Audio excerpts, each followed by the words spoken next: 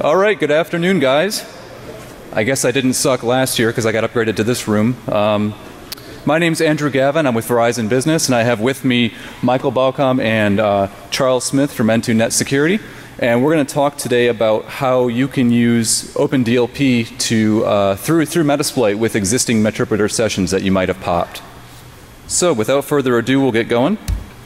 Uh, just a, a, a brief uh, before I get going. Uh, everything that we say up here is our own. We're, we're, not here representing our companies or anything. And if you use what we talk about today to get in trouble, that it's not our fault. So don't try to blame us or anything. So what we're going to do today is to uh, briefly go over what OpenDLP is. I, have given talks about this before, so I'm only going to take a couple minutes on that. And then uh, Michael and Charles are going to talk about the limitations of using OpenDLP for pen testers and how they got around that. They basically built this new middleware to integrate between OpenDLP and Metasploit, and it's really awesome. So uh, we've got a few demos for you, and we hope you guys like this. So just a brief recap of OpenDLP. It's a data discovery tool, and it is uh, written in, in Perl and C for the different components, released under the, the, uh, the GPL. So it's uh, free and open source. And uh, what we're going to talk about today is just strictly the Windows agent scanner. Uh, OpenDLP has support for agentless scanners for uh, file systems and databases, but that's not what we're going to talk about today. So uh, just to show you what it does, I'm not going to talk to these slides here. I'm just going to show you the to walk through it. The mouse. So the first thing you want to do is you want to create a profile. This is the old way of doing it, by the way, not the cool new way. So we'll just name this uh, DEF CON agent, if I can type. And we want to scan, the scan type is a Windows file system agent. So the username is developer. developer. And what's the password? One, two, three, four, five. Okay. So the same password as my luggage. MS Home. So we got some dummy stuff in uh, a directory here. We don't want to do a full scan because that might take an hour. So just documents. We'll scan for some fun regexes. So Amex, Discover, and this mouse. MasterCard, Soch Visa. And uh, we have to fill out our basic auth credentials, so DDT and open DLP agent. Fill out that garbage. And we submit our profile. So this is what we can reuse all the time. Uh, and what we want to do next is just start a new scan and just fill out the name of a scan called DEFCON. And we want to do the DEFCON agent, and then the IP address is 56.102. So we'll start that. So now in the background what it's doing is it's pushing all these files over SMB to the Windows system that we want to scan. And it's going to start that off as a service and uh, it's going to run at low priority. It's going to limit itself to a percentage of that target system's memory. So it's not going to totally destroy and crush the box when you're scanning it. Every so often it's going to call back to the web app with results over a two-way trusted SSL connection so you can uh, securely transmit results. And this should quickly finish. Whoops. To view the scan.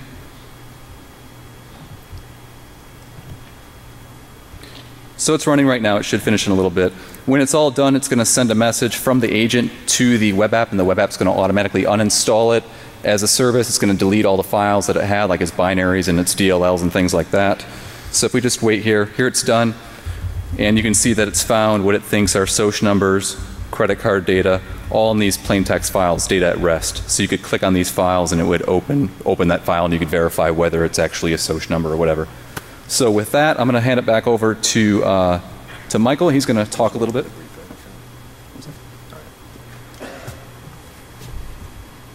So uh, under the current uh, implementation, uh, you know, we found that uh, we had a we had to have passwords, and uh, you know, necessarily we may not through a pen test. So what we tried to do is uh, is is set this up so that we didn't have to have domain domain admin all the time because you have to set up a profile per password. Um, So let's say we don't have domain admin now. For each system we have, each password we have, we'd have to uh, set up a new profile, and you know, generally we're just lazy, so that's not that's not the way we want to go. So the goals of this project were to be able to uh, scan machines for sensitive data, uh, both with and without credentials. We wanted the tool to have minimal impact uh, on the uh, the user, so that they aren't really knowing that uh, you know these things are going on, even even if we have permission, you know, we're not trying to, uh, to kill the machine. Uh, the tool must clean up its deployed files so that we don't have a lot of residual files sitting around. And minimize risks of leaking data. So if we don't need to, don't pull the files off of the, uh, the actual system. And, you know, just not necessarily, uh, you know, a hard requirement, but we wanted to do this with an open source kind of tool and give back to the community. Uh, so what we found is, you know, we pretty much had the tools we wanted. We had OpenDLP. We've been using that. Uh, we use Metasploit uh, often for pen tests. And you know, with these with these tools, why why go learn something else? So, is there a way we could make these things work together and give us an, uh, give us uh, some uh, ability to do the uh, the tasks at hand? So, OpenDLP was was just about the solution. You know, as we said earlier, you know, we we had to provide credentials during a pen test, we may not have the credentials. Uh, we may have the hash. We may not have the domain admin. Even, you know, even if we even if we get the uh, can get a hash dump, we may not be able to get the domain admin if they haven't logged into that system.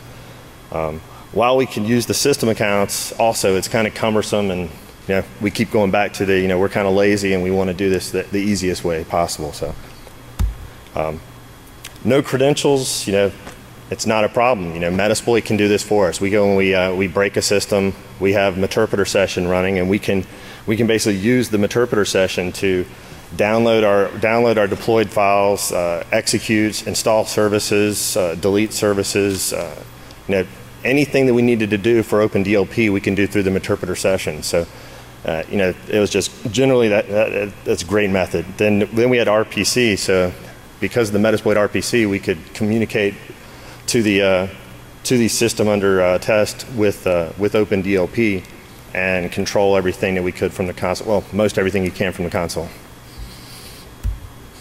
Uh, why Metasploit? Well, it's this tool we had heard of, and it was pretty cool. So, um, you know, we're sitting here. It has an RPC interface, like I said. You know, has many routines to you know, elevate privileges. We could download, upload files, execute applications on the target.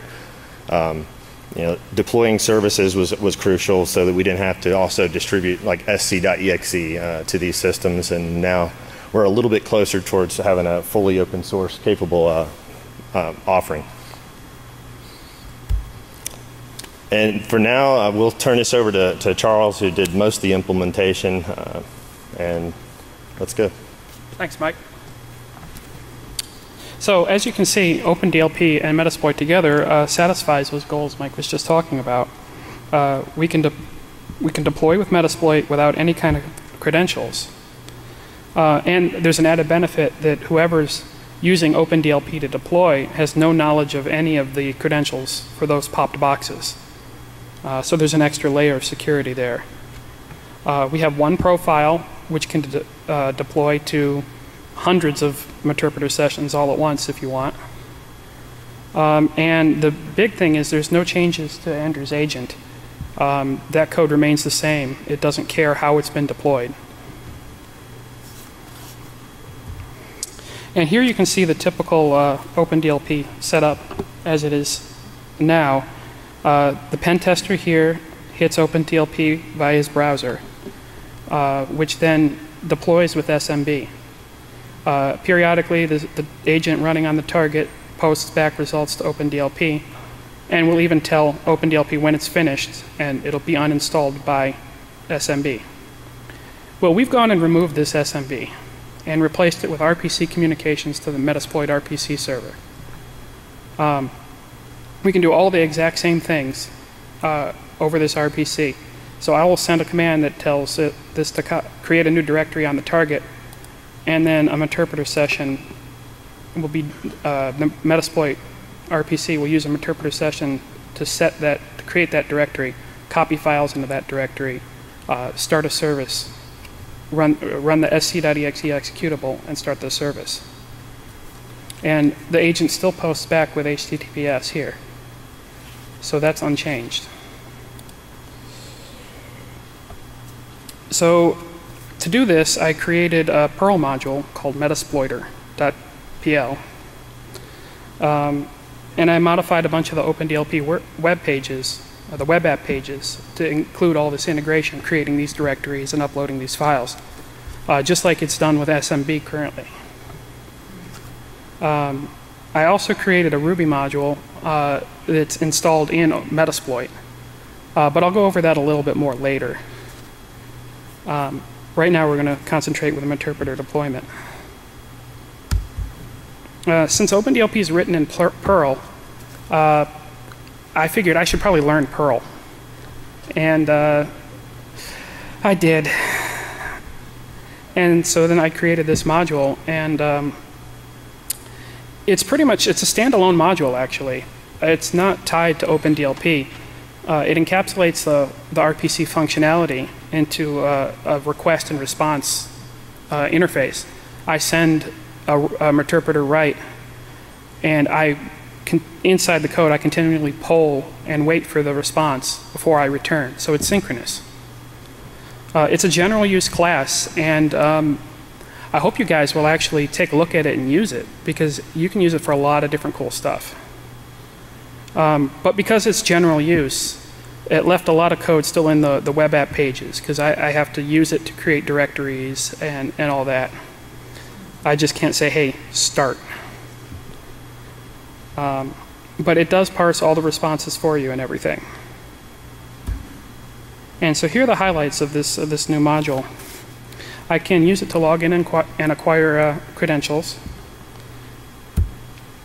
Oops.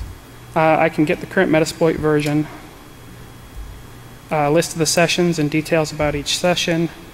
I can interact with sessions with interpreter reads and writes, as well as synchronous writes. Upload and download files. Uh, create and change the remote path. Change the local Metasploit path. Remotely execute applications on the target. Uh, and I can check if I'm connected to an Armitage console. So this is a quick sample of the code. I don't know how well you can see that. Um, but I wrote code here that will authenticate with the RPC. Um, you just give it the, the IP address and port, login and password, and it's also uh, works over SSL. Um, and I have set it up so that uh, if it's successful, it will return zero. Uh, that way you can choose how you want it to die. Um, and Metasploit, or the RPC, is all over HTTPS or HTTP, uh, which means that once you log in, you get an authentication token back. And we handle all this inside, but that authentication token is only good for a short period of time before it expires. So we also have the ability to acquire a persistent token. And uh, as long as you continue to pass that in your transactions, your uh, login won't expire. Uh, we can also, I, have, I created a list sessions method, which will list all the sessions on the Metasploit system. Uh, and get session list will return that list as an array of hashes. And this code here just walks through that array and prints out the IP address and some info about the host. Um, I have a method get Metasploit version, uh, which will get the current Metasploit version, obviously. Uh, you can change path uh, I have a method called send and wait, which will send a command and wait for a response. Um, and get command response will get that response. And then you can release the persistent token to log out. And this is what the output of that little application looks like. Now this is just a subset of the code that's in there. Uh, you can see you can do a lot of really cool stuff with this if you want. So this isn't perfect. There, there's a bunch of, I mean, it's pretty slick, but um, right now it uses Meterpreter to deploy. And Meterpreter sessions uh, have no way of authenticating a user against the current session. Uh, that means you can't have two people accessing it at the same time because the way Meterpreter works, you send a request and it outputs, it puts its output into a buffer If two different people send a request, the response to that, the, the output gets put in the same buffer. So the per- first person who reads from interpreter gets all of that output. So if I send a PWD and somebody else cats a file, the first person that requests a read gets all that data. Um, so really the only way right now to keep from uh, having this error, this problem, is to be like, hey guys, I'm using session three, don't mess with it right now. And that's not exactly ideal. Um, the other thing is the RPC is a command interface only. Uh, you can't transfer files over it. Uh, basically, if what you can type into an M- MSF console are the only things you can send and receive uh, from your host to, to the RPC server. Um, so you can upload files, but they have to upload from the Metasploit box to the target. Likewise, when you download, they download from the target to the Metasploit box. Uh, what this really means for, for users of OpenDLP is you can't just click on a file and download it like you can with Gavin's stuff. So um, this is a problem because in addition to those original goals, we really want this to work with Armitage. Because uh, Armitage is this neat GUI for Metasploit you guys might have heard of. It's used by a lot of pen testers. I, I think we even use that, maybe. So it, it doesn't play nicely because uh, even though Armitage has a nice uh, deconfliction server, uh, we totally screw that deconfliction server up. Uh, our, our reads will pull stuff that's meant for, meta, uh, for Armitage, uh, and it, Armitage doesn't really like not receiving its responses. Um, so, as a stopgap measure, uh, I created a little method that will check to see if Armitage is currently using the RPC connection that we're connected to. Um, and it just returns true or false if it does. Uh, but still, it, all I can do is display a warning in OpenDLP saying, hey, you're connected to Armitage. You might want to consider telling people not to use it right now.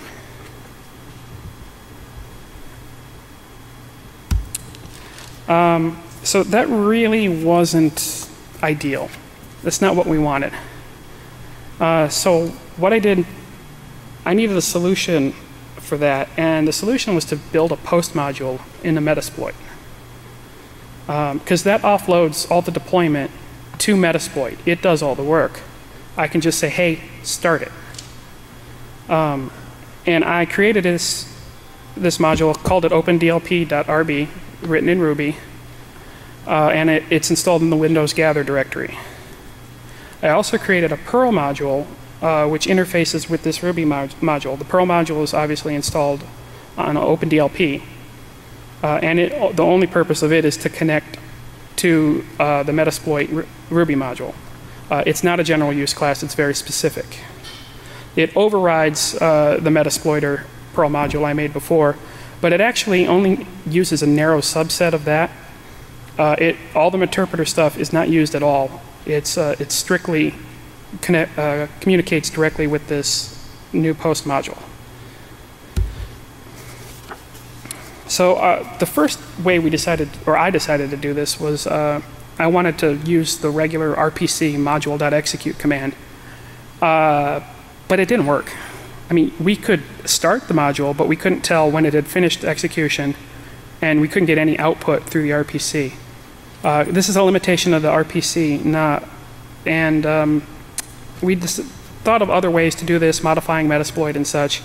But really, the easiest way, again, we're lazy, uh, was to create a new console. And because I create the console, I get the ID. It's mine. It's tied to a, a user.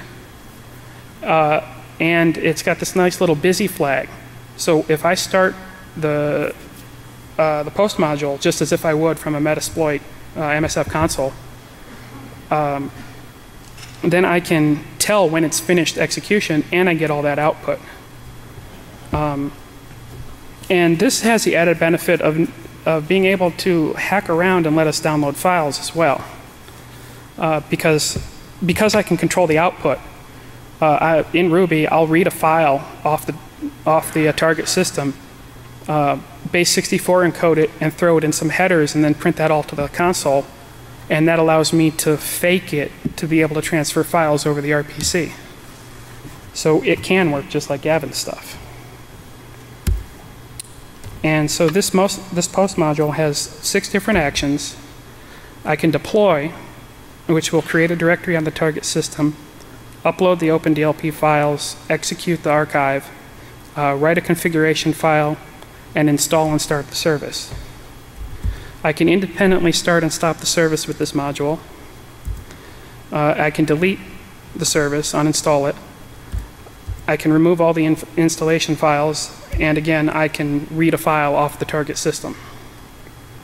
And this is the post module that's installed in open, uh, Metasploit. So I created this new uh, Perl module to interface with this. Um, and this module does all the work of creating a console and uh, executing the post module inside. It's really easy to use. There's, you set the module name, the configuration string, which we get from OpenDLP. Uh, we just base 64 it and, and set that. The source path, which is the path on Metasploit where the OpenDLP deployment file, files are located. Uh, the remote path is the installation path, and the session ID is a session you want to work, we want to deploy this to. And this is probably going to be really hard to read, uh, but it works just like the previous module. Uh, you log in and authenticate, but now you can you set the module name, and in this case it's Windows Gather OpenDLP, and check to make sure it exists. Uh, then we set the source and remote path the configuration string and the session ID and just call deploy OpenDLP. It handles creating the directories, installing the service, and everything. Uh, and it returns zero if it was successful. And we can download files just as easily. Uh, to get the contents of a remote file, I call the method read file. It returns zero if successful, and then call get file data to get the contents of that file.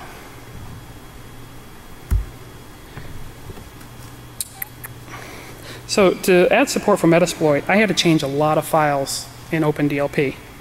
Um, and although I created the uh, Meterpreter-based deployment first, uh, the post module is obviously better because uh, it's less code and it deploys uh, without messing up your interpreter sessions without any kind of concurrent access problems.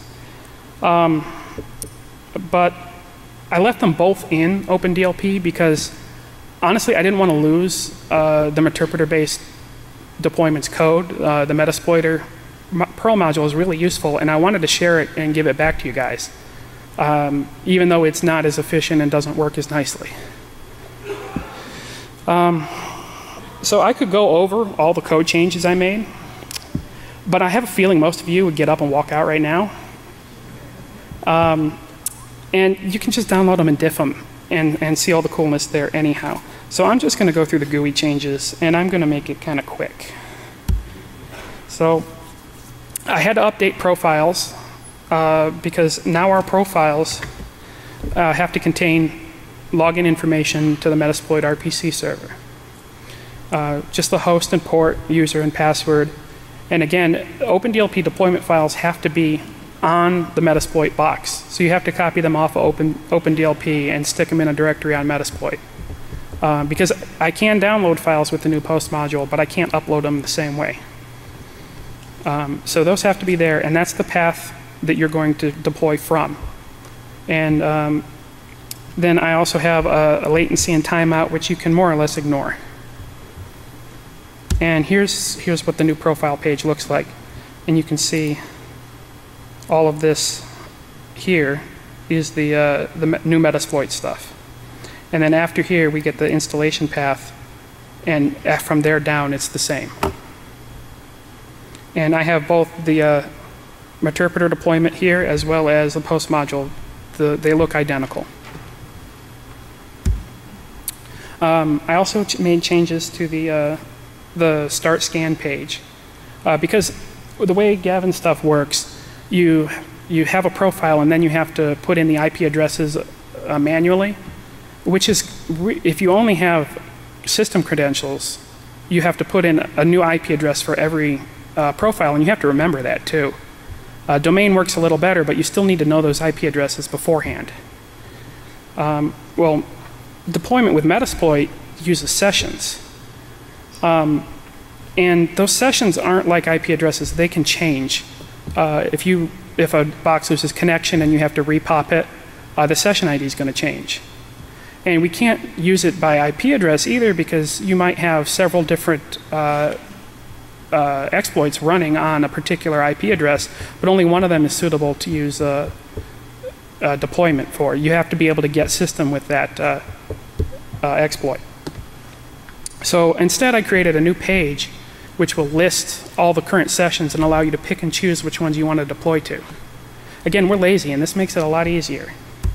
So when you start a new scan, now you, you and you choose either a Metasploit agent or the post module agent, uh, you'll get a little screen like this with a Get Sessions button.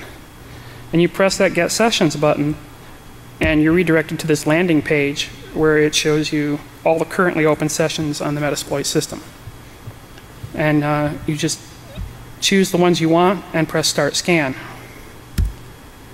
And this brings me to the Start Verify page.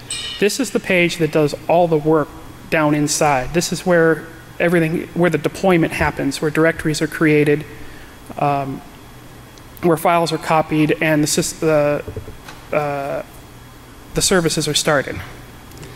Um, I just load the configuration parameters out of the profile and uh, deploy to either Meterpreter or post module uh, based bridge. And then I'll display a detailed uh, in, uh, output so you can determine if there's if if it doesn't deploy correctly, you know why. And it ends up looking a lot a lot the same as uh, Gavin stuff. You see here, I guess you might not be able to see, but it found two sessions and it tried to deploy to both. Uh, it start attempted to start and then it started. Um, I changed the view results page. Uh, again, with the IP addresses, the session IDs can change. Uh, unlike the IP addresses, session IDs can change. Um, so when you go to look at your results, if the session ID is changed, you now have an orphaned uh, results in your database and no way to get those files and view them. This is because the files stay on the target system, they don't get copied into OpenDLP. Uh, there's got to be a way to reconcile uh, the orphan scan with the session it belongs to, the, the new session. Um, so I created a page here that it, in view results, it checks to see if uh, the session is currently active and if it is, if the IP address matches. If neither of those conditions are met, it'll give you a little warning message and a button that will allow you to update. Uh, I can show you here, see, the session IDs are mismatched. It says the session has died and you won't be able to download files. If you click update session ID, uh, it'll give you a list of sessions that currently have an, a matching IP address. Um, then just click the update database with new session ID button and it will update the database and the session ID with the session ID and you'll be able to now download files with that results again. Uh, I also had to change download file uh, for the Meterpreter based deployment. Um, because files can't be downloaded with the Meterpreter based deployment, you can't get it all the way to uh, the OpenDLP web app. What I do instead is I use that path to open DLP files on Metasploit where the de deployment files are located and I create a path under there uh, using the IP address, the session ID, uh, and the profile name, and store the file there. So you can get it off the Metasploit box later. Uh, again, the post module de uh, deployment doesn't have this restriction. And this is what it looks like for a Meterpreter based. Uh, the path in green, if you can read it, is where it will save a file to. Um, I made some changes outside of uh, the Metasploit functionality um, because I was doing a lot of work on this and had lots of failed scans and uh, I had to go through and clean up the database manually sometimes because I get so many failed scans in there.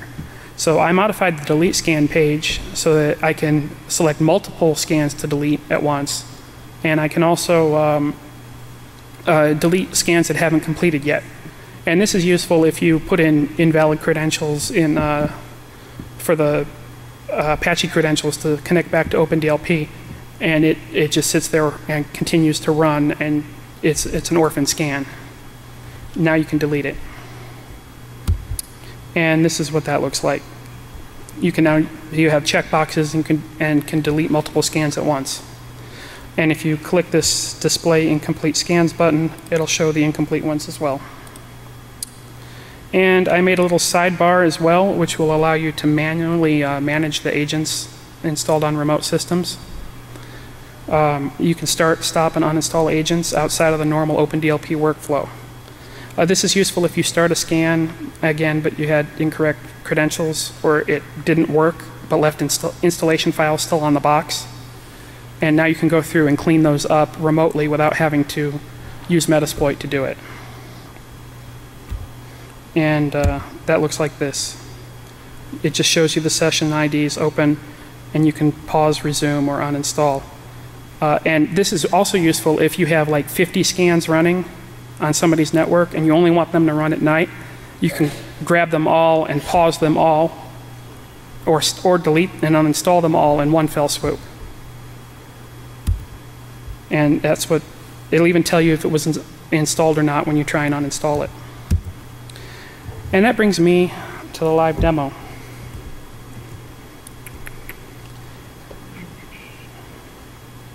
So we have, I've already created a couple of profiles here. And this is the post module on all the Metasploit stuff. We are going to use SSL on this and um, do a limited subset here so that it completes pretty quickly.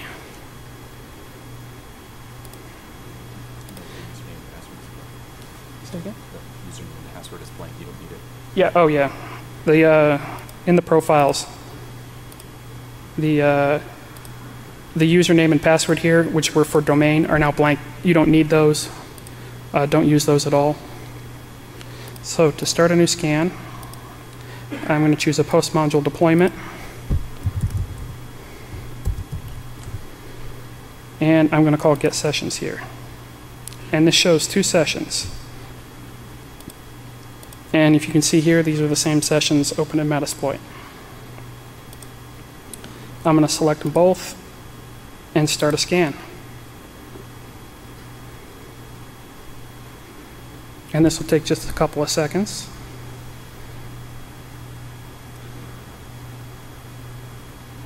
And here we go. We have two successful deployments. And um, we can view the results here. Post 1 is started. And both systems are currently running. And I can open up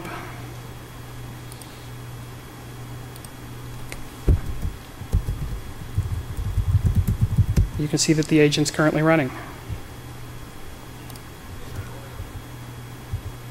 Now I can go over here to uh, the manage agents if I want, get those sessions, and pause that agent.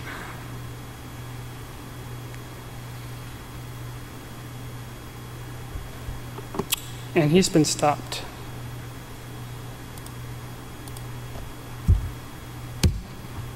Oop. Actually, it looks like he may have already finished.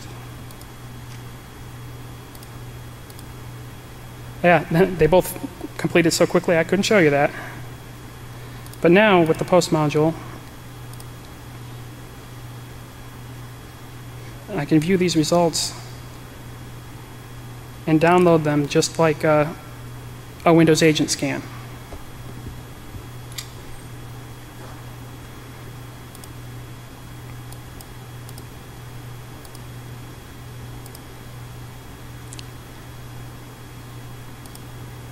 And I can also, uh, if I want to make sure that there's no more uh, Metasploit installed on those boxes, I can try and uninstall the agents again, and it'll tell me if they're if they were installed on there or not.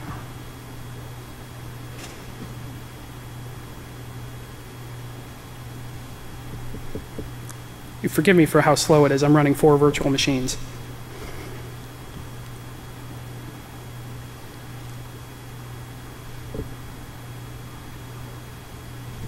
And here we go. It tells you that OpenDLP service wasn't installed. And I can run through here with the uh, Meterpreter deployment.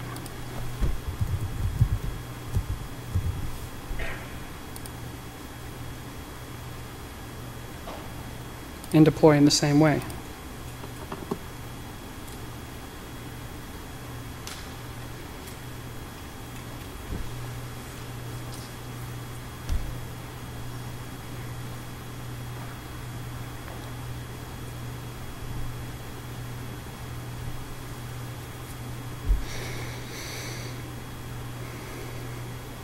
And here we go. You'll notice that the logs are different because of the different deployment type, but that they both did deploy and start correctly. But the difference here, when you go to view,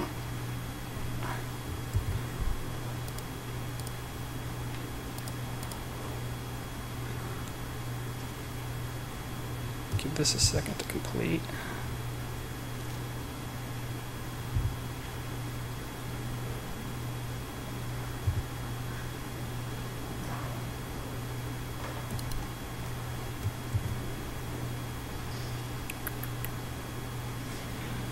Ah, all right, now it's completed. Now, if I want to grab that allow.txt file, it has downloaded it to the Meterpreter, or to the Metasploit box. So it's downloaded allow.txt on session 15 to OpenDLP, which is the directory for the deployment files, with the session ID and the IP address. And I can show you that right here.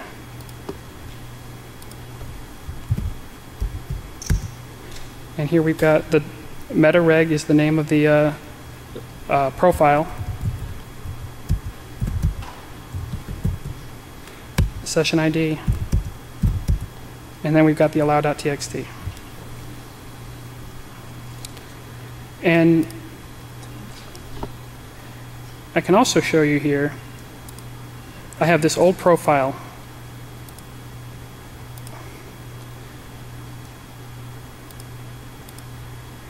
and this one has a different session. Now I can just click Update Session ID here, and it'll give me a list. Right now there's only one with that matching IP address. I click Update the database.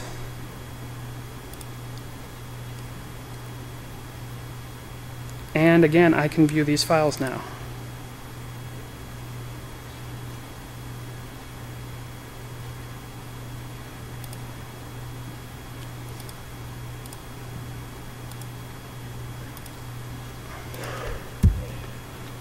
And so this is where you can get the new uh, OpenDLP. Andrew released this yesterday? Yesterday, yep. Yeah, yesterday. This was released, and you can download it and play with it right now. Uh, source code and bina- binaries are there, as well as a virtual box. And um, this is us. Thank you for your time.